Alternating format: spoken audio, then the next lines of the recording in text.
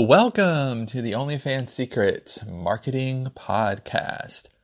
The goal of this podcast is to help both new and established OnlyFans creators learn the basics of online branding, marketing, and promotion to help you make more money with your content and maximize your time online.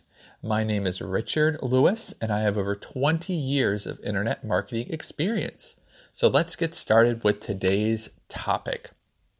And that topic is OnlyFans promo scam. Let's discover me. So, as you all know, I made a pledge on this podcast to weed out the bad Twitter and promo actors preying on OnlyFans creators. So, this week's episode is dedicated to one particularly egregious case of deception in the form of the site and promotion called Let's Discover Me. So, in this episode, I'm going to discuss, you know, what I discovered about the promo and why you should avoid it. Uh, first, though, I want to talk about uh, the first week of providing uh, legitimate promos to creators on Twitter. So, uh, I did mention in the last podcast that we were moving to a weekly format, so I'd be able to devote more time uh, to other endeavors uh, like creating a promo on uh, Twitter that is effective, that's ethical, and that's organically built. And as well as doing more uh, blogging and writing about OnlyFans. So I'll say one thing it was encouraging to see the demand uh, this week uh, at OnlyFans Hero on Twitter. Uh, so, despite many obstacles OnlyFans creators face, uh, you guys all continue to strive for success, which I love. Um, so, everyone has just been lovely and helpful, you know, as far as, you know, the promos go.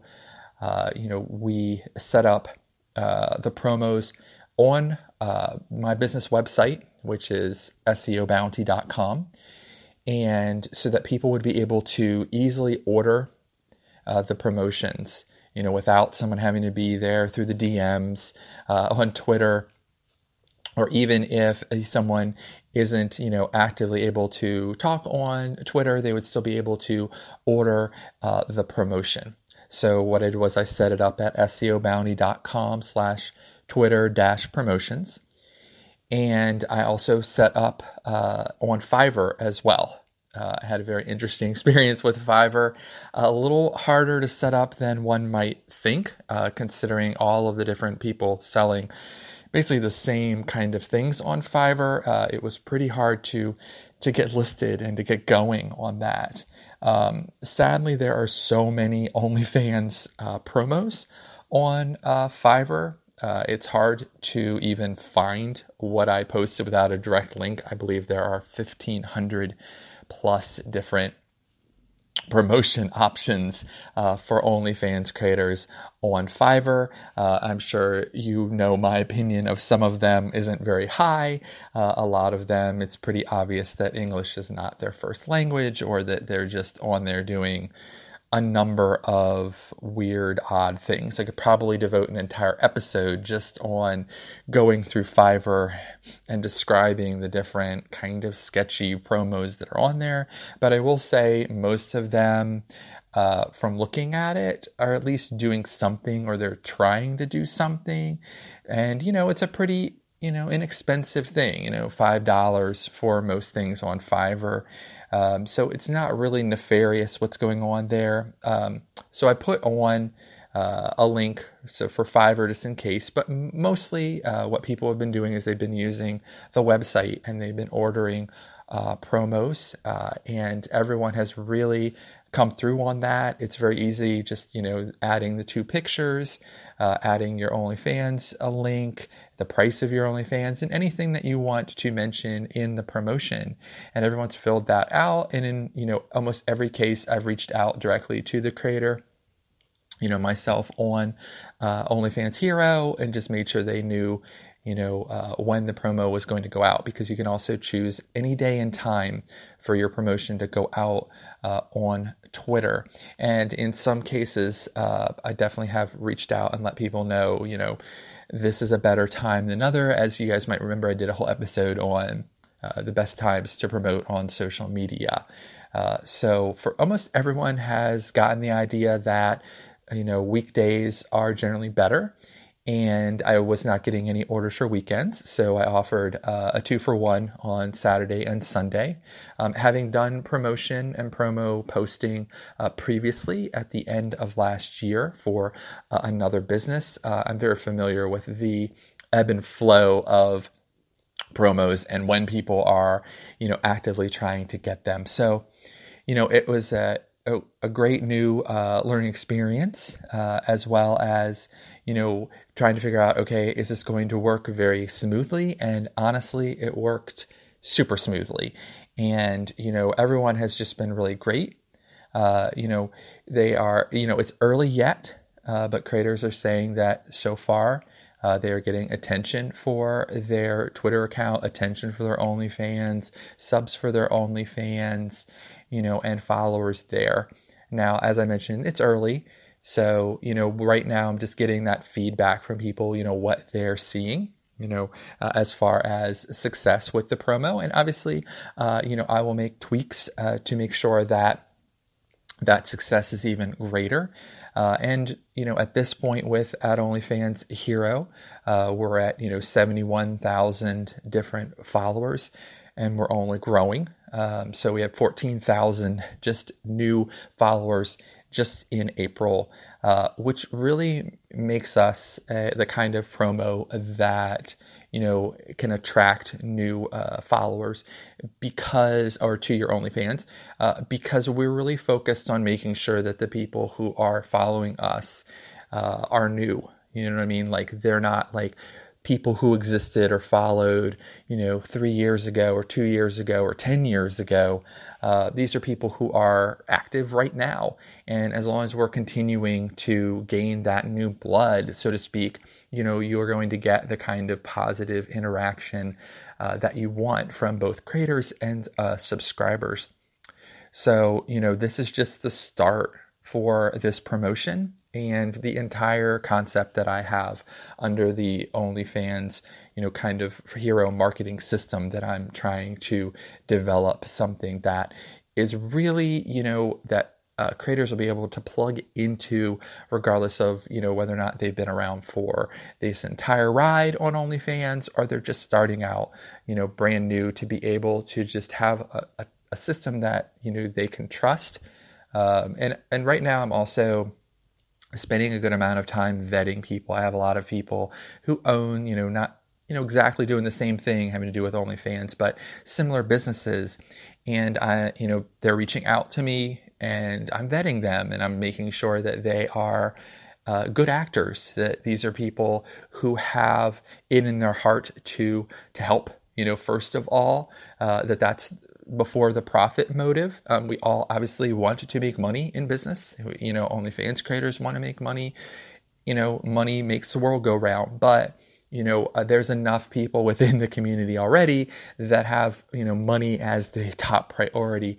So I'm definitely talking to different people to try to create a system, you know, of trusted uh, providers, you know, that people can turn to. So if you know I can't necessarily do you know the the work that you know someone who's trusted is doing the work. So I just wanted to update you guys on you know that. And I'm definitely going to have new product offerings uh, on the SEO Bounty website, uh, which is a company I haven't really talked about before, but it's a company I've owned um, for 13 years now.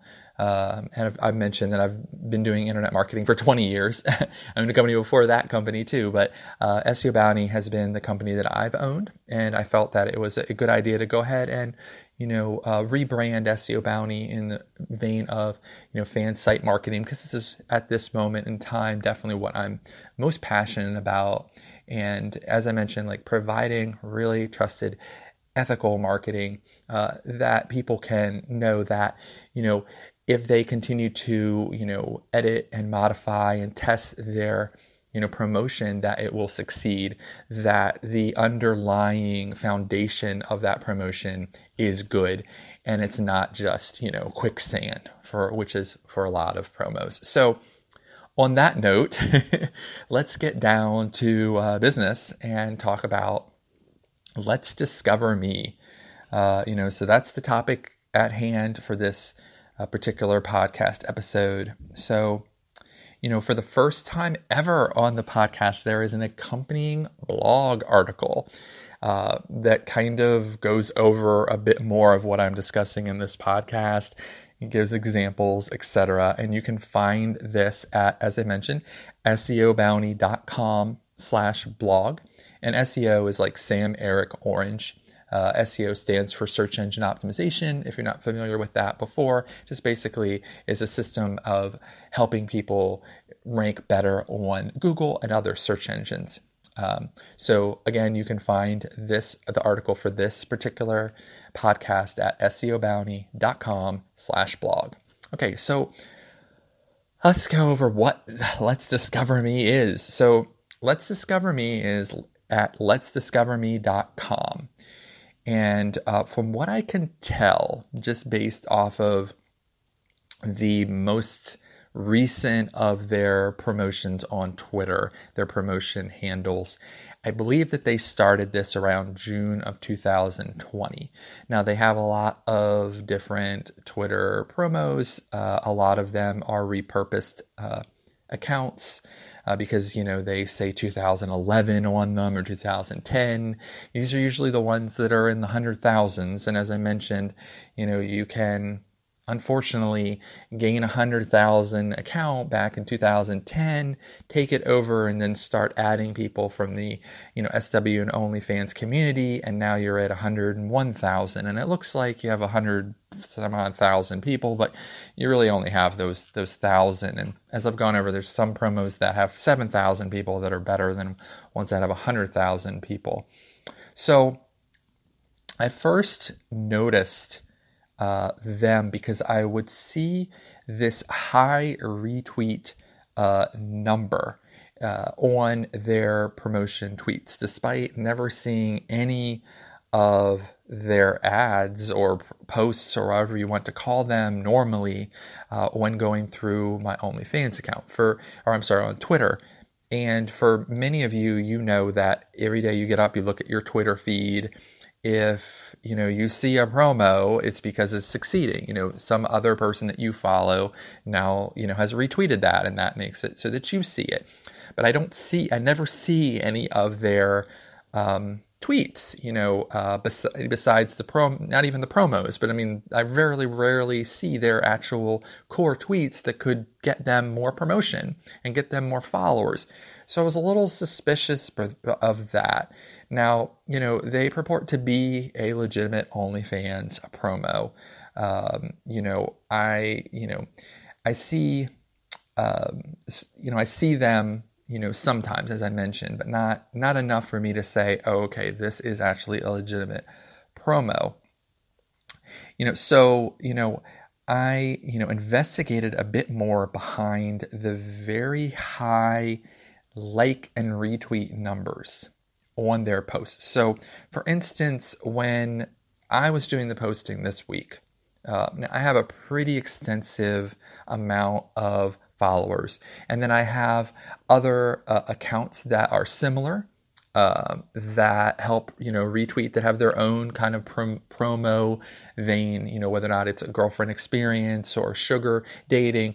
They are they have their own purpose and their own promo. And obviously we retweet you know on on those. And still you see that generally speaking people are a little more hesitant to retweet what they might see as a competitor OnlyFans account. Most of the time, if there's going to be pictures of other models that someone retweets, it's usually someone they know within the community. They're trying to help. They might be doing a share for share, retweet for retweet. You know, somebody that's their friend that they, you know, are you know, associated to.